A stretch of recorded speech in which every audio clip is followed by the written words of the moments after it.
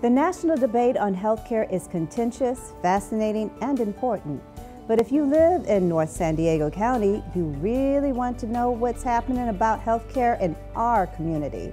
A great way to do that is to tune in to KOCT's television series, What's Happening at Tri City Medical Center.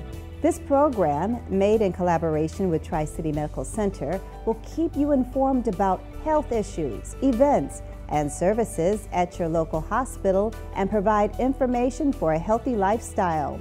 On this episode, we had Dr. Karen Hanna, General and Bariatric Surgeon at Tri City Medical Center. She talked about obesity in America and weight loss surgery.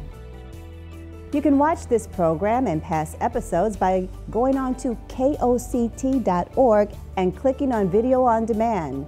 Watch on your computer, smartphone, or tablet wherever and whenever you need information about your local community hospital, Tri City Medical Center.